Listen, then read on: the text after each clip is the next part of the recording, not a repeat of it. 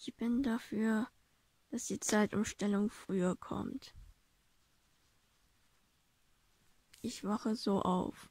Aber es ist, das ist eben die Frage, das wäre für mich so ein, so ein Fachreferatsthema. Übrigens habe ich an Noah gedacht, inwieweit Street Art zum Beispiel eine politische Protestaktion wäre, finde ich ein gutes Thema, weil es ja immer so von allen Leuten wird ja ähm, Straßenkunst immer als Graffiti zum Beispiel verwechselt ja. auch und ja. wird ja immer geschimpft. Das liegt natürlich auch so ein bisschen am spießigen München, aber es ist ein großer Unterschied und ähm, es steckt ja was dahinter. Es sind ja keine Leute, die irgendwas kaputt machen wollen, sondern es sind Leute, die was ausdrücken wollen. Auch. Das ist bei J. R. so und das ist bei Banksy so, wobei Banksy sich natürlich das ein bisschen kaufen lässt.